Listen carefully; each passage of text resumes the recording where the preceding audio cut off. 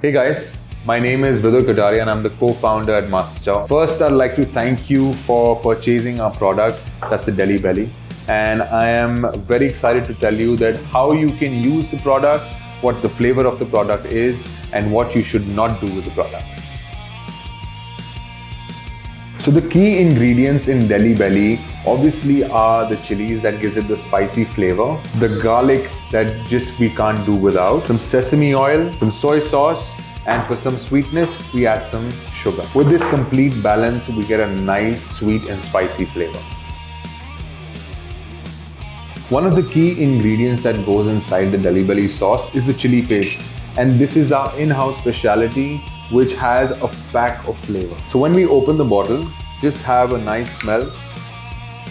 That sweetness that comes in with a backing of spice is just so good. So guys, you can use this sauce for so many things. You can make a cucumber salad, some kung pao chicken, a quinoa salad, Asian sub, a pad thai, some chicken meatballs. You can use it for marinations. You can use it in a stir fry for noodles. You can make some fried rice and all our favorite, the honey chili potato.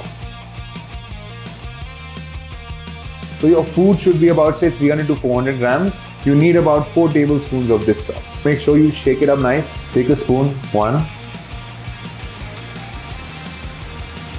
two,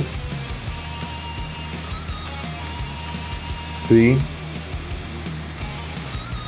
and four. Now just mix.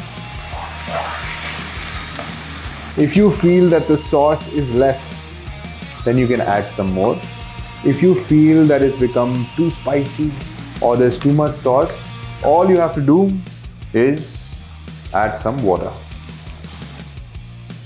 So number one, always shake the sauce before you use it. Number two, for an extended shelf life, please keep this in the refrigerator. Number three, if you put too much of the sauce, that's okay. Just add a little bit of water and it's done. Number four, don't use this sauce as a dip because it has a very very concentrated flavor so you can't use this as a dip it is made for a stir fry or marinations or anything you would like Of course this is one of my favorite sauces and trust me you will love it. Like and subscribe to our channel and tell us what else have you missed out and put on the comments. Thank you